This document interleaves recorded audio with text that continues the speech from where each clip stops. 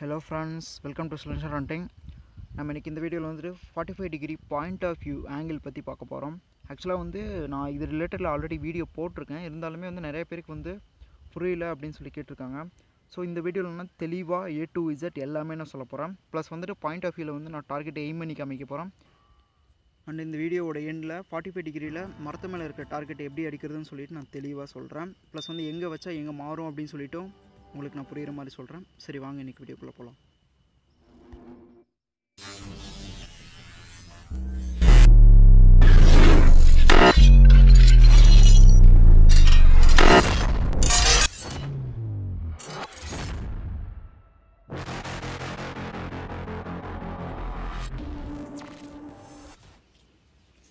So இந்த வீடியோவில் வந்துட்டு நம்ம ஃபார்ட்டி ஃபைவ் டிகிரி எய்மிங் பற்றி நான் சொல்லியிருக்கேன். ஸோ வந்துட்டு ஃபஸ்ட்டு என்னோடய forty five degree angle reference point எப்படி என்ன அப்படின்னு சொல்லி நான் காமிக்கிறேன். ஸோ என்னோடய ஃபார்ட்டி ஃபைவ் டிகிரி அப்படின்னு பார்த்தீங்கன்னா எனக்கு வந்து என்னோடய ரெஃபரன்ஸ் பாயிண்ட் பார்த்தீங்கன்னா இதுதான் இந்த சென்டர் அதாவது ஃபோக் டிப்போட சென்டர் இந்த ஃபார்ட்டி ஃபைவ் டிகிரி ஆங்கிளில் இருக்கும்போது. ஸோ இதில் இருக்கும்போது அந்த ரப்பர் எட்ஜை ஒட்டி அதாவது ஒரு எம்எம் இல்லை டூ எம்எம் மேலே வரும். ஸோ அதுதான் என்னோடய ரெஃபரன்ஸ் பாயிண்ட் ஸோ இந்த இடத்துல வச்சு நான் அடித்தேன் அப்படின்னா என்னால் அந்த டார்கெட்டை கன்சிஸ்டண்ட்டாக ஒரு டைம் இல்லை நூறு டைம் இல்லை தௌசண்ட் டைம் கூட என்னால் கன்சிஸ்டண்ட்டாக அடிக்க முடியும். ஸோ அதுதான் என்னோடய ரெஃபரன்ஸ் பாயிண்ட் ப்ளஸ் வந்துட்டு உங்களோட ஸ்லிங்ஷாட் ஹோல்டிங் பொசிஷன் வந்து எப்போ ஒரே மாதிரி இருக்கணும். ஸோ அப்போ தான் வந்து அடிக்க முடியும். ஸோ டார்கெட்டோட சென்டரில் அதாவது நீங்கள் எய்ம் பண்ணுறது பேர்டாக இருந்தாலும் சரி ஒரு பாட்டிலாக இருந்தாலும் சரி எதுவாக இருந்தாலும் டார்கெட்டோட சென்டரில் எய்ம் பண்ணணும். ஸோ இப்போ பாயிண்ட் ஆஃப் வியூவில் நான் ஸ்லோ மோஷனில் காமிக்கிறேன். நான் ஒவ்வொரு டைமும் டார்கெட் அதாவது என்னோடய ரெஃபரன்ஸ் பாயிண்ட்டை எங்கே வச்சு ரிலீஸ் பண்ணுறேன்னு சொல்லி பாருங்கள் ஸோ அது எங்கே அடிக்குதுன்னு உங்களால் பார்க்க முடியும். அதுக்காக தான் அந்த ஸ்லோ மோஷன்லாம் நான் காமிச்சிருக்கேன். ஸோ இதுதான் என்னோடய ரெஃபரன்ஸ் பாயிண்ட்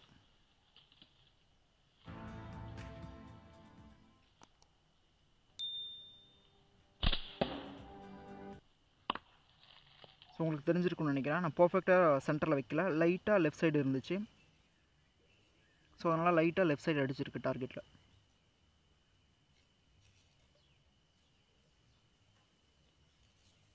ஸோ நீங்கள் இந்த மாதிரி ரெஃபரன்ஸ் பாயிண்ட்டை வந்து டார்கெட்டில் வைக்காமல் அமௌண்ட் நீங்கள் ரிலீஸ் பண்ணவே கூடாது. அதுக்கு முன்னாடி வந்து நீங்கள் பிடிச்சிருக்கிற ஹோல்டிங் பொசிஷன் வந்து பர்ஃபெக்டாக இருக்கான்னு செக் பண்ணணும்.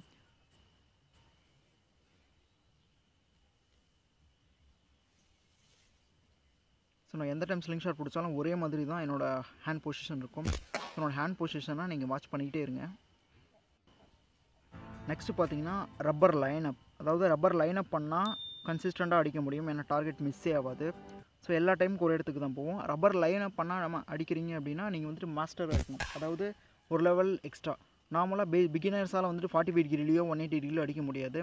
இப்போ நைன்ட்டி டிகிரிலேயே அவங்க அடிக்கிறது ரொம்ப கஷ்டம். ஸோ அதுவே கால்குலேட் பண்ணி அடிக்கிற மாதிரி வரும். ஸோ அவங்க எம் மெச்சூரிட்டி ஆக ஆக அதாவது இதில் வந்து எக்ஸ்பீரியன்ஸ் வர வர forty five degree one eighty டிகிரியில் மாஸ்டர் ஆகலாம். ஒன் எயிட்டி டிகிரி தான் இருக்கிறதுலே ரொம்ப கஷ்டமான ஒரு ஆங்கிள் ஸோ இப்போ உங்களுக்கே ஒரு தெளிவு கிடச்சிருக்குன்னு நினைக்கிறேன். ஏன்னா வந்து எல்லா டைமுமே என்னோடய ஸ்லிங்ஷாட் வந்து எங்கே என்னோடய ரெஃபரன்ஸ் பாயிண்ட் வச்சு ரிலீஸ் பண்ணுறேன் அப்படின்னு சொல்லிட்டு உங்களுக்கு தெரிஞ்சிருக்கும். அந்த இடத்துல ஒரு பேர்டு இருந்தாலும் இதே தான் அதாவது அதோட சென்டர் அந்த பேர்டோட சென்டர் நீங்கள் ஹெட்டு வைக்கிறதா ஹெட்டோட சென்டர் நெக்குக்குனா நெக்கோட சென்டர் அதை எய்ம் பண்ணி தான் நம்ம பாயிண்ட் பண்ணணும்.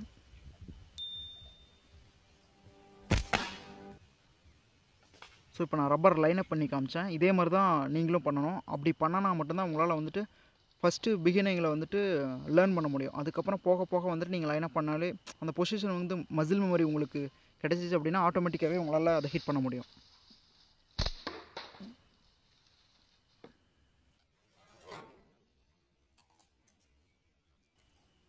ஸோ என்னோடய ஹேண்ட் பொசிஷனை பாருங்கள் ஒரு ஒரு ஒரு ஒரு டைமும் எப்படி எப்படி மாறுது எப்படி எப்படி இருக்குது அப்படின்னு சொல்லிட்டு. நீங்கள் ஒரு டைம் வந்து இப்போ நைன்ட்டி டிகிரி அப்படின்னா அதை மட்டுமே ப்ராக்டிஸ் பண்ணுங்கள் ஸோ அதில் ஃபுல்லாக ஏ டு இசட் எல்லாமே தெரிஞ்சிச்சு அப்படின்னா அடுத்த லெவல் அதாவது அப்கிரேட் ஆகுங்க. அடுத்த லெவலுக்கு அடுத்த பொசிஷனுக்கு சேஞ்ச் ஆகி நீங்கள் ப்ராக்டிஸ் பண்ண ட்ரை பண்ணுங்கள் ஓ எல்லாத்துலேயுமே அறகுறையாக கற்றுக்கிட்டிங்கன்னா எதையுமே உங்களால் ஒழுங்காக கற்றுக்க முடியாது.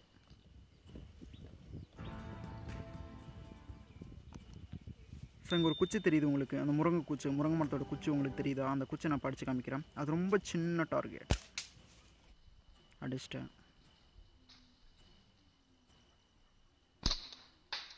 இப்போ நீங்கள் பார்த்துருப்பீங்க அந்த டார்கெட்டை நான் அடிச்சிட்டேன். ஸோ இதே தான் நான் சொல்லியிருக்கேன் ஆல்ரெடி ஒன் எயிட்டி டிகிரி தான் இருக்கிறதுலே ரொம்ப ஹார்டர் அப்படின்னு சொல்லிட்டு. ஒன் எயிட்டி டிகிரி என்னோடய ரெஃபரன்ஸ் பாயிண்ட் வந்து மிட் ஏரில் இருக்குது ஸோ யாரோ யாராக இருந்தாலுமே அதுதான் ஒன் எயிட்டி டிகிரியில் எய்மிங் வந்துட்டு பண்ணுறாங்க அப்படின்னா அவங்க ரொம்பவே அக்யூரேட்டட் மைண்டாக இருக்கணும். ரொம்ப தெளிவான மைண்ட் மைண்ட் செட் வச்சுருக்கிறவங்களாக இருக்கணும். இல்லைனா எய்ம் பண்ண முடியாது. ஏன்னா எல்லா டைமுமே மிட் இயரில் அவங்களோட ரெஃபரன்ஸ் பாயிண்ட்டை வச்சு தான் அடிக்கணும். ஸோ வந்துட்டு ஒன் எயிட்டி டிகிரி ப்ராக்டிஸ் பண்ணுறதுங்கிறது வந்துட்டு ரொம்ப கஷ்டம். ப்ளஸ் வந்துட்டு எல்லா டைமுமே டார்கெட் அடிக்க முடியுமா அப்படிங்கிறது வந்துட்டு உறுதியாக சொல்ல முடியாது.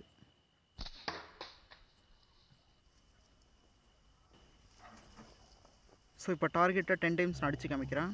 கண்டினியூஸாக டென் டைம் அடிக்கிறேன். என்னோட ஹேண்ட் பொசிஷனை பாருங்கள் ப்ளஸ் வந்து என்னோட ஸ்லிங் ஷாட் ஹோல்டிங் பொசிஷன் அதாவது அந்த ஹோல்டிங் ஸ்டைலையும் பாருங்கள் எப்படி இருக்குன்ட்டு. One two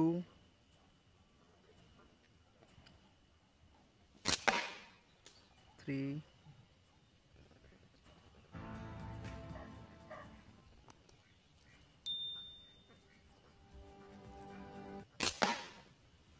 four,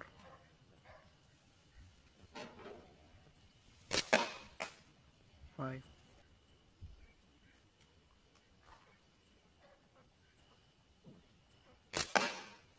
six,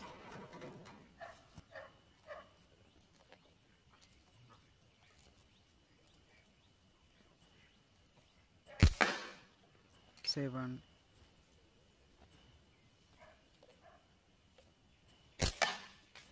eight,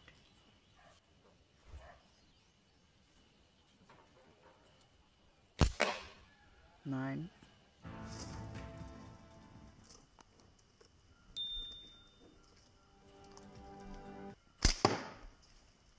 and ten. Okay friends next வந்து ஒரு டார்கெட் ஃபார்ட்டி ஃபைவ் டிகிரியில் மரத்து மேலே இருக்கும்போது எப்படி இருக்குதுன்னு நான் சொல்கிறேன்னு சொல்லியிருந்தேன். ஸோ ஃபார்ட்டி ஃபைவ் டிகிரியில் ரெஃபரன்ஸ் பாயிண்ட்னு பார்த்தீங்கன்னா இதுதான். ஸோ இப்போ உங்களுக்கு ஒரு எல்லோ லைன் தெரியுது இல்லை ரெக்டாங்கிள் மாதிரி. ஸோ இதுதான் வந்து அந்த ஆங்கிள் அதாவது டிகிரி ஸோ இதில் வந்துட்டு ஃபார்ட்டி ஃபைவ் டிகிரி அப்படிங்கிறது அந்த arrow red colour arrow so அந்த ஆங்கிள் மட்டும்தான் ஃபார்ட்டி ஃபைவ் டிகிரின்னு சொல்லுவாங்க.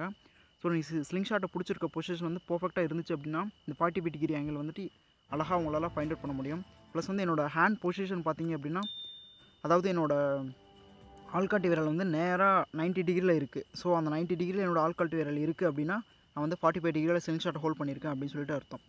ஸோ வந்து டார்கெட் வந்து மரத்து மேலே இருக்கும்போது உங்களோட ரெஃபரன்ஸ் பாயிண்ட் வந்துட்டு மிட் இயரில் இருக்கும். அதாவது நார்மலாக வந்துட்டு மிடில் ரேஞ்சில் இருக்கும்போது ரப்பரை ஒட்டி உங்களோட ரெஃபரன்ஸ் பாயிண்ட் இருக்கும். அதாவது ஃபோர்க் டிப்பில் அதுவே வந்து அப்ஸ்டேர்ஸில் அதாவது மரத்து மேலே இருக்கும்போது டார்கெட் வந்துட்டு மிட் இயரில் இருக்கும். அதாவது அதுலேருந்து மூணு இல்லைனா நாலு எம்எம் வந்து மேலே அதுக்கு மேலேயும் போகும். ஸோ அது வந்து உங்களோட ரெஃபரன்ஸ் பாயிண்ட்டை பொறுத்து இருக்குது ஸோ நீங்களோட பாடி ஸ்டிச் பண்ணி அதுக்கேற்ற பொசிஷனில் நீங்கள் மாறிட்டீங்க அப்படின்னா உங்களால் வந்துட்டு உங்களுக்கு வந்து அதே சேம் ரெஃபரன்ஸ் பாயிண்ட் தான் வரும். அந்த ரப்பர் ஒட்டியே வரும். இல்லைனா சேஞ்ச் ஆகும். ஸோ ஃப்ரெண்ட்ஸ் இப்போ உங்களுக்கு வந்து ஃபார்ட்டி ஃபைவ் டிகிரியில் வந்துட்டு ஓரளவுக்கு தெளிவாகவே புரிஞ்சிருக்கும்னு நினைக்கிறேன். புரிஞ்சிருந்தால் மறக்காமல் வீடியோ லைக் பண்ணுங்கள் அண்ட் சப்ஸ்கிரைப் பண்ணுங்கள் இந்த வீடியோவில் ஏதாவது டவுட் இருந்தால் கமெண்ட்டில் கேளுங்க. அண்ட் வேறு ஏதாவது வீடியோ ஸ்லிங்ஷாட் ரிலேட்டடில் வேணும் அப்படின்னாலும் கமெண்ட் பண்ணுங்கள் நான் கண்டிப்பாக க்ளியர் பண்ணுறேன் தேங்க்ஸ் ஃபார் வாட்சிங் friends please subscribe the channel